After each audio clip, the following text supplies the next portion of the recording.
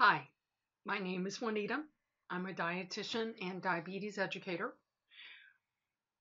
I'm going to continue with the nine essential things that you need to know if you have diabetes.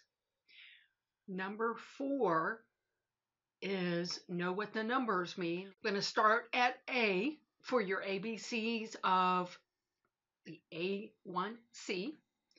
And if you've had diabetes for a while, you probably have, are familiar with this. If you're newly diagnosed, this may be a new term for you. What the A1C is, it stands for the hemoglobin A1C and it gives you an average of all of your blood sugar checks over a two to three month time period. So it's an average of all of your numbers. The target for A1C is usually less than 7%. For some people, the target number may be a different percentage. So it is a good idea to talk to your doctor who helps you manage your diabetes as to what your target is. If your A1C is 7%, most of your blood sugar checks are going to be right about 154.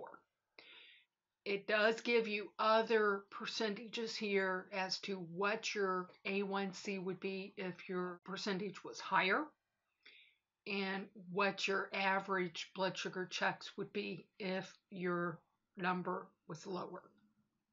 I also like to show people what the A1C might look like. So, for instance, if this was your blood and your blood sugars were on the average less than 154 or less than 7%, you notice that the liquid in this jar, it's not sticky or gooey.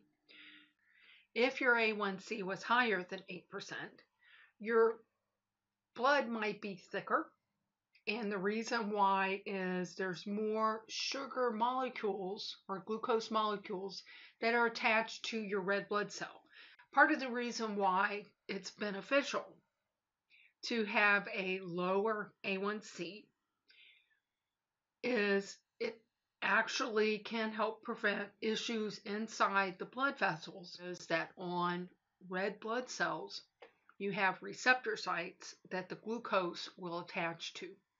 And if you have higher blood sugar readings, more glucose molecules will attach to the red blood cells. So I will show you what that looks like. So if this was a red blood cell that the person's A1C was less than 7%, this is kind of what it might look like. You still have sugar molecules that are attached to the red blood cell, but there's not a lot of them. Versus if the person's A1C was higher, this is kind of what their red blood cells would look like. There'd be just more sugar molecules that would be attached to red blood cells in the bloodstream. Usually getting the A1C done every three months. If your A1C is in goal range and your blood glucose that you're monitoring at home is in your target ranges, the doc might tell you, hey, let's get your A1C checked every six months. So that is your A1C. Your target usually is going to be less than 7%.